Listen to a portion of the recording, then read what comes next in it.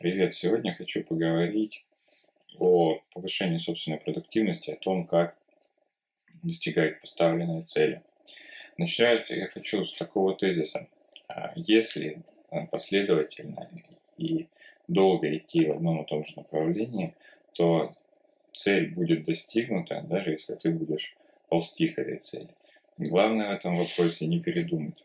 Все проблемы возникают тогда, когда человек поставил для себя цель, и в процессе достижения цели у него возникли другие идеи, новые цели, он не закончил работал над старыми целями и начал новые.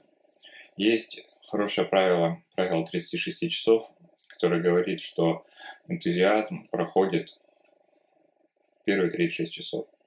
То есть у вас возникла идея, и вы захотели ее реализовать. Вот то чувство энтузиазма и желания реализовывать идею и двигаться к своей цели, оно проходит через 3-6 часов. То есть буквально стоит два раза переспать со своей идеей, и она забудется, не станет такой актуальной. Поэтому важно в первые 36 часов э, сделать что-то, что в будущем будет вас стимулировать э, в продвижении к своей цели.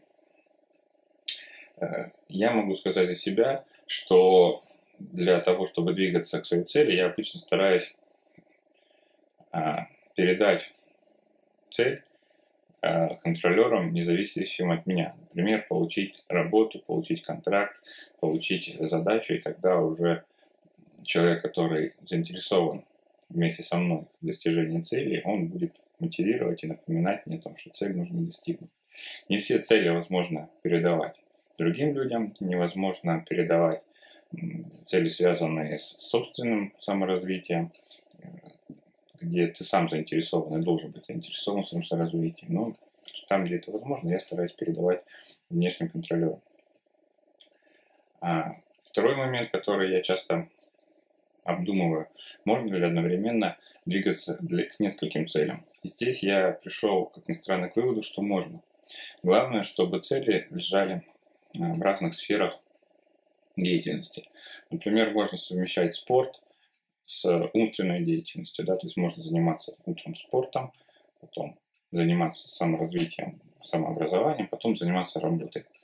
Но если все задачи лежат в одной области, то есть саморазвитие, например, то такие задачи взаимоисключают друг друга. То есть вы начинаете работать не продуктивно по достижению цели в, своей, в своем направлении, отвлекаетесь на другие цели, и в итоге э, цели а, не получается достигнуть. А, значит, повторюсь, основная проблема – это не менять цель. То есть после того, как цель поставлена, ее нужно достигать. Чтобы корректно ставить цели и достигать своей цели, обязательно нужно научиться планировать свое время. Для того, чтобы научиться планировать свое время, необходимо знать некоторые собственные характеристики. Вообще я сторонник того, чтобы э, максимально выявить свои числа да, то есть выявить свои сильные слабые и сильные стороны и выразить их в числовом эквиваленте в виде метрик. Моя любимая метрика, наверное, только моя, это зарплата. Как правило, ваша стоимость в виде зарплаты отражает э, наиболее корректно то, тот уровень развития, тот уровень достижения поставленных целей, которые вы для себя определили. Если ваша зарплата вас не устраивает, значит вы не достигли своих целей, и вам необходимо подумать, что вы делаете не так. Но зарплата зависит от других важных параметров, характеристик. И для себя я уже для того, чтобы понять, какие цели я могу достигать, какие не могу достигать, сколько времени нужно, я выявил еще, наблюдая за тем, как я работаю, фиксируя а, свои задачи, свои цели в ежедневнике, потом анализирую, я вывел для себя другие важные показатели. Например, я знаю свою выносливость. Я знаю, что я могу работать максимально сейчас, вот, на данный момент, на сегодняшний день, максимально могу работать день 12 часов. После этого э, любая работа не приносит никакого результата. Даже если я продолжаю работать, результата нет.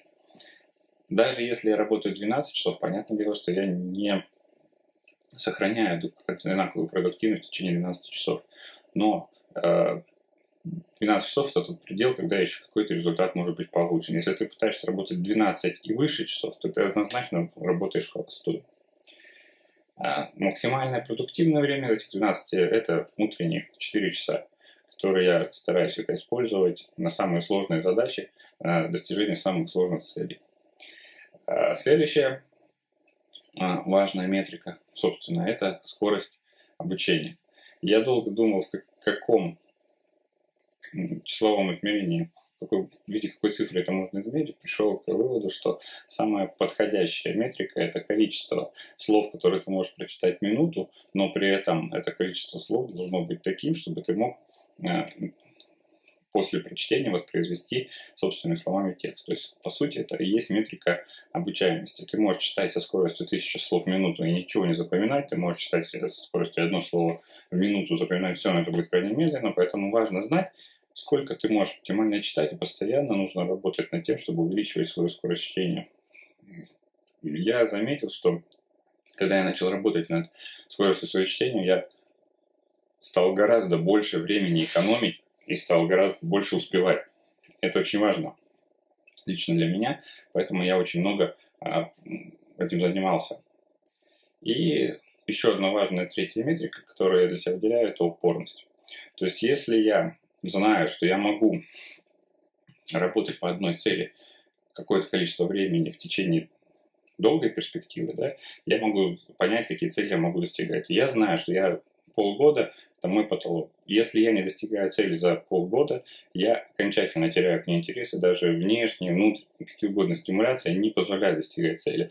Единственное исключение – это работа, где ты можешь и более длительные сроки выдерживать, но, как правило, это приводит к тому, что ты потом выгораешь и либо уходишь с работы, либо идешь разговаривать с руководством, чтобы тебе дали другие задачи. То есть полгода – это тот срок, когда ты не выгораешь, когда ты можешь сохранять трясать рассудка, когда ты двигаешься в интересном тебе направлении, когда ты можешь достигнуть цель и получить от этого в конечном итоге удовольствие. То есть цель, которая достигнута, неминуемо приносит удовольствие. Сам, сам процесс достижения цели может не всегда приносить удовольствие, и, как правило, он не всегда приносит удовольствие или немного удовольствия, да, потому что все-таки, когда ты ставишь цель, ты немножко себя ставишь на излом. Поэтому вот три метрики – это выносливость, скорость обучения и упорность, они позволяют определить те цели, которые ты можешь достигнуть, и те цели, которые лучше не браться, да, пока ты не готов к ним. Можно любую большую цель разделить на более мелкие цели, ну и, соответственно, э, сделать таким образом композицию, чтобы вот крупная цель достигалась, да, но не нужно фокусироваться на крупной цели, нужно фокусироваться всегда на тех целях, которые э, подходят для твоих метрик. А, и еще хотелось бы пару слов о внешних контролерах, как я сказал, о людях, которые или о событиях, которые тебя вынуждают двигаться к цели. А, я не могу сказать, что я вот супер волевой человек, и мне легко дается достижение цели. Очень многие цели я бросал.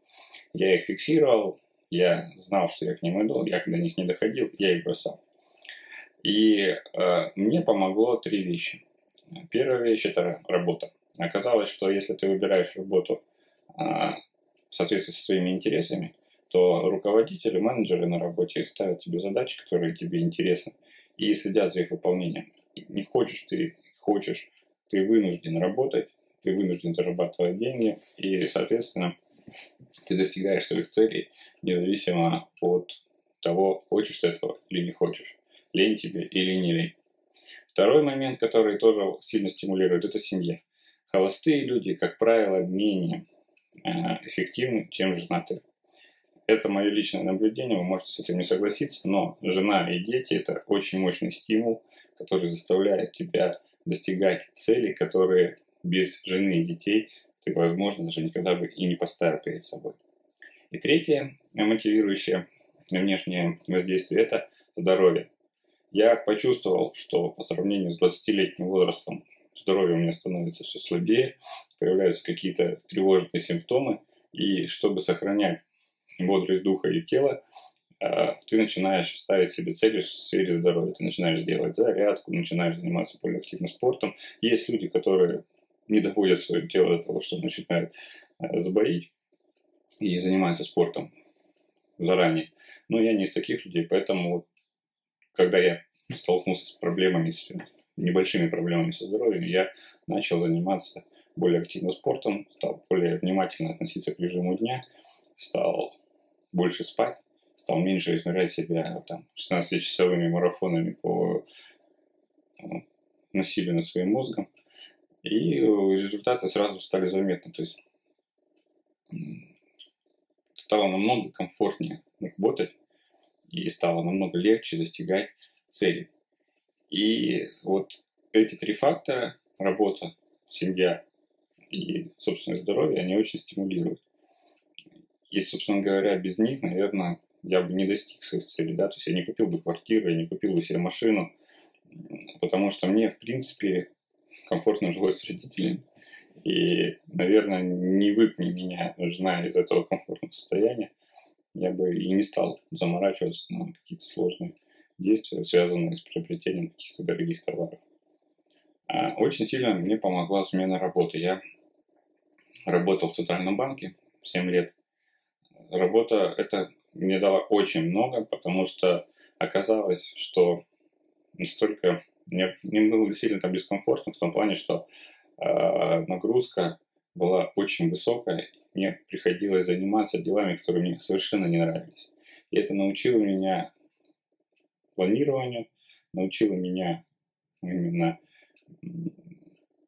концентрации на задачах, которые тебе неинтересны, и при этом э, научила меня выдержке, научила э, именно достигать целей, которые не очень для тебя пригодны, не очень пригодны для твоего мышления. И когда я ушел с Центрального банка, нашел сейчас работу, которая соответствует моим целям, оказалось, что навыки, которые я там приобрел, позволяют мне эффективно работать. И очень многие люди в моем окружении замечают, что э, я эффективно занимаюсь теми делами, которые мне неприятны ну, например, бумажной работой. Мне не доставляет никакого удовольствия заниматься документацией, но я ей занимаюсь. Мне не доставляет никакого удовольствия там, работать со сложными заказчиками, капризными, которые а,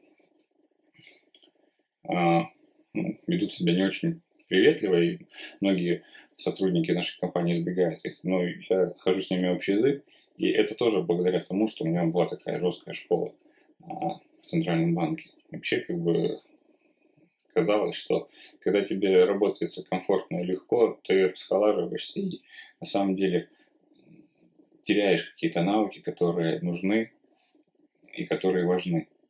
Поэтому вот в деле саморазвития нужно всегда думать, а если ты будешь своим интересам потакать, будешь ли ты достигать своих целей, которые ты перед собой ставишь. Потому что я услышал очень много раз от разных людей, что вот ах, если бы я там не сдался полгода назад, если бы сдался два года назад, вот сейчас каких бы я результатов достиг. Так вот, чтобы не сдаваться, нужно знать свою выносливость, нужно знать свою способность к обучению, нужно выносить задачи на внешние контролеры и нужно фиксировать все свои цели ползти к ним, даже если очень не хочется.